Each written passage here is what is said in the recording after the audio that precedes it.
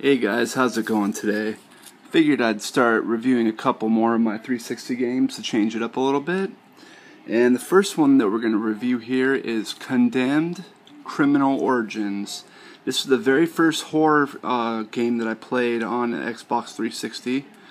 And I liked it the very first time I played it, and I still like it. I've beat it a couple times since I've owned it. I actually give it an 8.5 out of 10, guys, because especially for its time, it was one of the newest ones, and it truly is an epic game.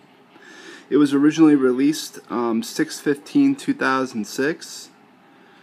The genre for this is action, horror, crime, a little bit of thriller, a little bit of mystery. Um, it's rated M for mature, for blood and gore, intense violence, strong language. List price for this is only $19.99, especially since it's a real older game. Um, let's see, it's got HD capabilities, 720 all the way to 1080i. And the, for the mode, it's single player, but it's got first person view. The developer is Monolith Productions. And um, written by Frank Rooke and produced by James Brown, Dave Hasle, Gwilym Hughes.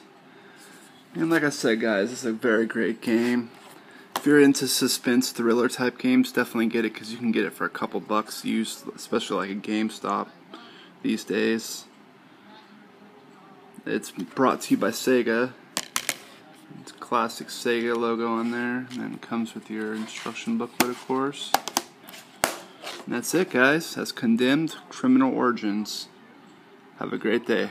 Talk to you soon. Peace.